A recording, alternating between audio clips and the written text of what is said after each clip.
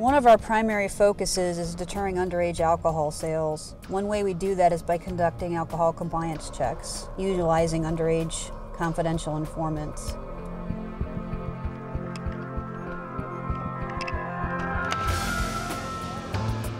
This lady here, she's with the Ohio Investigative Unit, so she's going to talk to you here and let you know what's going on. Okay. From our from our end, what we do is you'll get a summons for selling alcohol to an underage person. The liquor permit is also going to receive a citation, okay?